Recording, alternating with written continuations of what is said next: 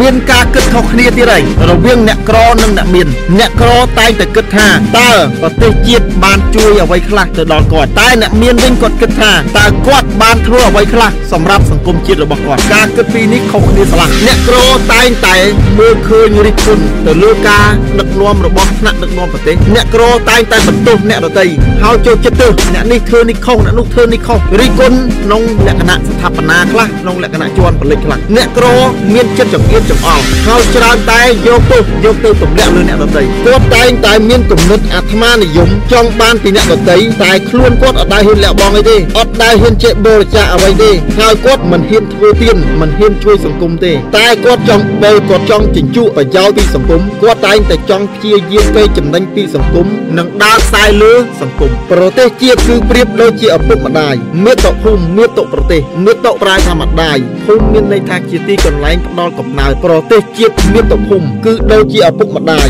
ដែលគាត់មានគុណមហាសាលមកលើយើងគ្រប់គ្នាទាំងអស់ប្រជាជនទាំងអស់នៅទូទាំងផ្ទៃប្រទេសប្រទេសគឺជាអ្នកផ្ដល់ទីតាំងកន្លែងដែលយើងកើតកន្លែងដែលយើងរស់នៅកន្លែងដែលយើងស្នាក់អាស្រ័យដូច្នេះយើងមានឱកាសបានរៀនសូត្រយើងមានឱកាសនៅក្នុងការកសាងស្នាដៃយើងគួរតែធ្វើអ្វីដែលអាចធ្វើទៅបានឲ្យអស់ពីលទ្ធភាពរបស់យើងនៅក្នុងការជួយកសាងប្រទេសជាតិសង្គមជាតិយើងមិនគួរសួរសង្គមជាតិឬក៏ប្រទេសជាតិថាបានធ្វើអីខ្លះចំពោះយើងទេតែយើងគួរតែសួរខ្លួនឯងតើយើងនេះបានធ្វើអ្វីខ្លះជាប្រយោជន៍ដល់ប្រទេសជាតិជាប្រយោជន៍ដល់សង្គមជាតិការគិតខុសគ្នារវាងអ្នកមាននិងអ្នកក្រមានមួយចំណុចទៀតដែរអ្នកក្រគាត់រងចាំតែការជួយពីអ្នកដទៃនិងការឲ្យពីអ្នកដទៃតែចំណែកអ្នកមានវិញគាត់តែងតែគិតថាគាត់ត្រូវតែរកវិធីសាស្ត្រក្នុងការផ្ដល់អ្វីខ្លះទៅដល់អ្នកដទៃអញ្ចឹងម្នាក់គាត់រងចាំ អ្នកទៀតគាត់រិះរកវិធីក្នុងការជួយគឺមានលក្ខណៈខុសគ្នា ការគិតខុសគ្នាមួយទៀត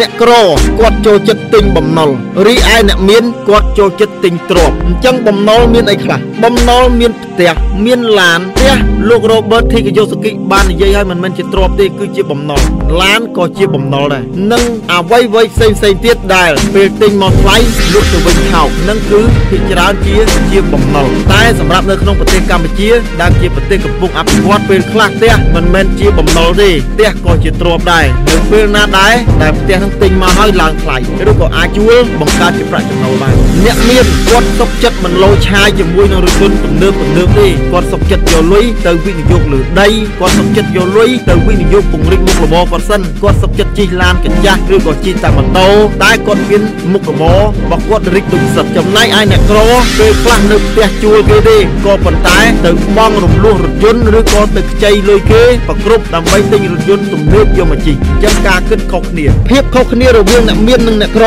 ក៏អាចបណ្ដាលមកពីការទិញដែរអ្នកក្រពុំបានដឹងថាអ្វីជាទ្រព្យអ្វីជាបំណុលទេចេះតែពីទិញដូច្នេះអ្នកក្រចេះតែទិញហើយទីបំផុតរបស់ទាំងនោះបានបង្ហិនបង្ហោចលុយកាក់ដែលគេខំប្រឹងរកមកទៅទេទៅទេរបស់របរខ្លះវាគឺជាបំណុលដែលយើងមើលច្រឡំថាវាជាជាទ្រព្យបំណុលកើតមកពីការទិញ ហើយត្រូវចំណាយលុយទៅលើវាបន្ថែមទៀតចំណែកឯទ្រព្យគឺជាការទិញដែលចំណេញពីលើវាហើយចំណេញជាបន្តបន្ទាប់បំណុលវាតកែស៊ីលុយយើងគ្រប់ពេលវេលាតែចំណែកឯទ្រព្យវាចិញ្ចឹមយើងគ្រប់ពេលវេលាបំណុលមានដូចជាការប្រើប្រាស់រថយន្តទំនើបទំនើបក្តីម៉ូតូផ្ទះសិតតែជាបំណុលដែលភាគច្រើន វាទាមទារការចំណាយបន្ថែមពីយើងហើយបើសិនជាឡានម៉ូតូបើទិញយកម្រោស៊ីអានឹងវាគឺជាទ្រព្យឧទាហរណ៍ថាគាត់ទិញឡានយកមករត់តាក់ស៊ីគាត់ទិញម៉ូតូយកមករត់ឌុបអានឹងគឺជាទ្រព្យឬក៏បង្កើតលុយក៏ប៉ុន្តែបើសិនជាគាត់ទិញយកមកសម្ញែងយកមកលោឆាយអានឹងគឺជាបំណុលហើយពីព្រោះគាត់ទិញមកទី1តម្លៃឡានធម្មតាទិញមកថ្លៃលក់វិញថោកខាតម៉ូតូដូចគ្នាវាឡើងសេរីវាទៅវាឡើងឆ្នាំវាទៅវាឡើងចេញអាសេរីខ្ពស់ខ្ពស់មកអាសេរីចាស់ហ្នឹងវាវាធ្លាក់ថ្លៃហើយវាទាស៊ីបាយរាល់ថ្ងៃដែរគឺវាទាសាំងបាទអញ្ចឹងវាត្រូវចំណាយអញ្ចឹងអាហ្នឹងភាគច្រើនវាគឺជាបំណុលអញ្ចឹងយើងត្រូវរៀនរៀនគិតមុននឹងទិញរបស់អ្វីមួយ ដាក់សញ្ញាសួរសិនថាតើរបស់នឹងជាទ្រព្យឬក៏ជាបំណុលយើងមិនគួរទិញបំណុលក្នុងករណីមិនចាំបាច់ទេតែករណីខ្លះជាករណីចាំបាច់យើងក៏ត្រូវតែទិញដែរដូចជាពេលខ្លះយើងត្រូវការទិញម៉ូតូហ្នឹងយកមករត់ដុបយើងទិញឡានហ្នឹងយកមករត់តាក់ស៊ីដើម្បីប្រកបបង្កើនផលឬក៏យើងត្រូវការចាំបាច់នៅក្នុងការធ្វើដំណើរទោះបីជាយើងដឹងថាទិញមកដឹងតែខាតទៅព្រោះនឹងជាបំណុលក៏ប៉ុន្តែត្រូវតែទិញក្នុងការស្ដាយសំណោះលុយផងទិញមកល្មមដែលយើងអាចប្រើទៅបាន មិនចាំបាច់លោឆ្ងាយនោះទេពីព្រោះវាជារបស់ក្រៅខ្លួនវាជារបស់មិនមានប្រយោជន៍អ្វីប្រមាណសម្រាប់ប្រកបបង្កើតលុយមកឲ្យយើងនោះយើងប្រើវានៅក្នុងករណីចាំបាច់ហើយល្មមល្មមទៅបានហើយតែយើងគួរតែទិញដោយមិនញញែកដោយមិនស្ដាយទៅលើការវិនិយោគអ្វីដែលចំណេញដូចជាការវិនិយោគទៅលើស្តុកទំនិញទៅលើការពង្រីកមុខរបរបន្ថែមទៅលើការទិញដីទៅលើការវិនិយោគអចលនទ្រព្យមួយចំនួនដែលមានឱកាសក្នុងការចំណេញដូច្នេះយើងសង្កេតឃើញថាប្រទេសយើងកំពុងតែរីកចម្រើនកំពុងតែអភិវឌ្ឍតម្លៃហាងឆេងដីតែងតែឡើងហក់ទៅមុខជានិច្ចហើយមនុស្សកាន់តែកើនឡើង តែដីអត់កើនឡើងទេដីនៅដដែលអញ្ចឹង យើងគួរតែសម្លឹងមើលទៅលើការវិនិយោគអចលនទ្រព្យទិញទៅវាមិនដាល់ដុសផ្សិតទេទិញទៅវាមិនដាល់ទាបាយយើងហូបទេទិញទៅវាមិនដាល់ទាសាំងយើងចាក់ទេឲ្យតែមានលុយប្រមូលទិញទៅដីធ្លីនេះគឺថាបើមិនចំណេញតិចក៏ចំណេញច្រើនដែរហើយផ្ទះនៅល្មមល្មមទៅបានហើយមិនចាំបាច់ទៅធ្វើប្រអួតសម្ញៃគ្នាឬក៏ទៅលក់ដី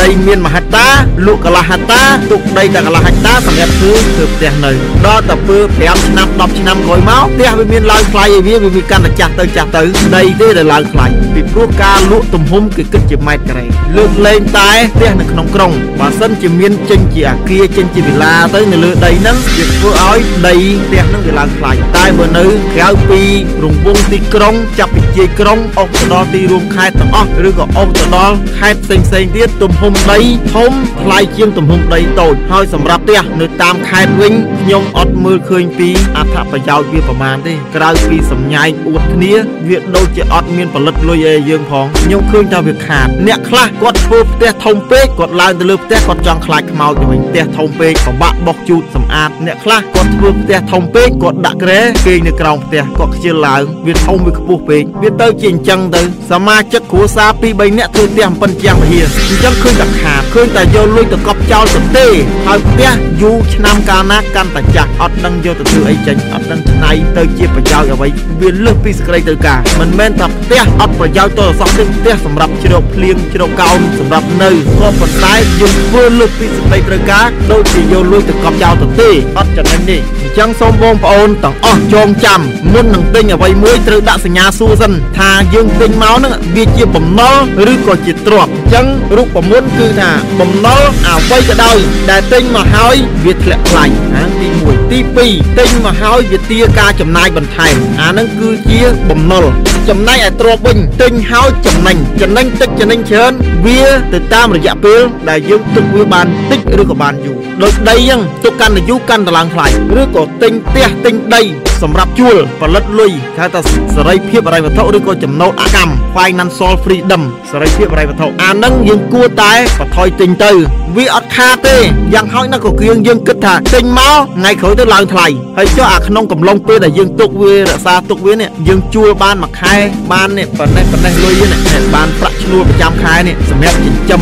ឆ្នាំងបាយយើងនេះអាហ្នឹងគឺជាទ្រព្យអញ្ចឹងអ្នកមានគេវិនិយោគទៅលើទិញទ្រព្យចូលមកនេះគេវិនិយោគអត់មានអាញើតដៃទេហើយគេអត់គិតទេគេអត់ពិចារណាស្មុគស្មាញច្រើនទេគេវិនិយោគដោយភាពក្លាហានដោយភាពភ្លឺថ្លាណាស់អញ្ចឹងសូមបងប្អូនទាំងអស់គ្នាស្គាល់ទ្រព្យនិងស្គាល់បំណុលឲ្យបានច្បាស់ហើយមុននឹងសម្រេចទិញអ្វីមួយមុននឹងសម្រេចប្រើលុយដែលរកបានពីកម្លាំងញើសឈាមនេះត្រូវដាក់សញ្ញាសួរឲ្យច្បាស់ថាអញទិញហ្នឹងវាជាបំណុលឬក៏ជាទ្រព្យបើសិនជាទ្រព្យទិញទៅកុំឲ្យញើសដៃតែបើបំណុលដាក់សញ្ញាសួរឲ្យបានច្រើនដងថាគួរទិញទេថាគួរទិញទេថាគួរទិញទេគួរឬមិនគួរបើមិនគួរដកថយមកវិញបើគួរចាំបាច់ត្រូវតែទិញគិច្ចមិនផុតក៏ទិញទៅតែទិញនៅក្នុងកម្រិតសមល្មមសម្រាប់បំពេញសេចក្តីត្រូវការដែលជាមិនផុតគុំទិញអ្វីឲ្យវាធំសម្បើមកុំធ្វើអ្វីឲ្យវាធំសម្បើមដែលធ្វើឲ្យកប់លុយ